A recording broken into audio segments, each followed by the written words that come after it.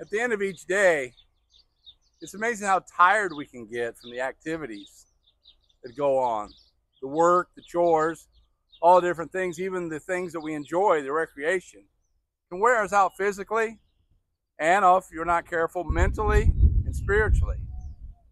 So God knows exactly what's going on in our lives, and He wants us to rest in Him. Because you might feel a little haggard, a little tired, but God wants you to enjoy rest and invites you to come unto Him and find that rest. Hi, I'm Craig Fritchley, pastor of Calvary Apostolic Tabernacle. Today's devotional.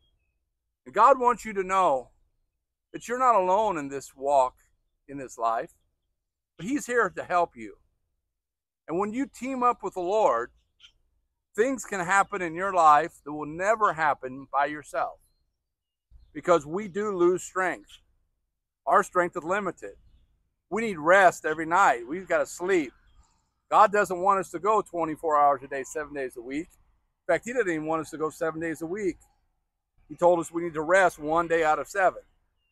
So we need to make sure that we follow God's command and we allow Him to give us the strength that we need as we do our day to day activities. God will help us, but we got to make sure that we don't overtax ourselves and we follow what God asks us to do. Jesus said, Come unto me, all ye that are labor and heavy laden, and I will give you rest.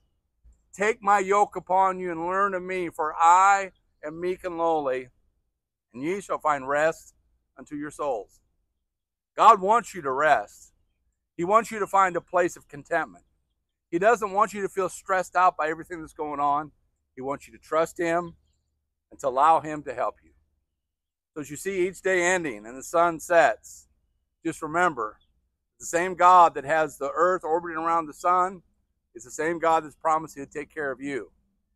And so rest in the Lord, trust Him, allow Him to help you, and you will find the strength you need for each and every day.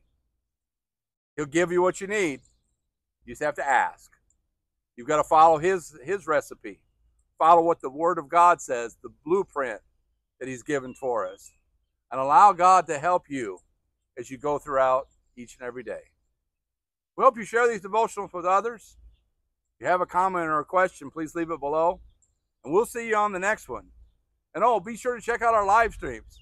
It really is um, good information that we have, our services, our music, and we want it to be enjoyable to you. We want to bless you, and we want your life to be fulfilled in the Lord. Have a wonderful day.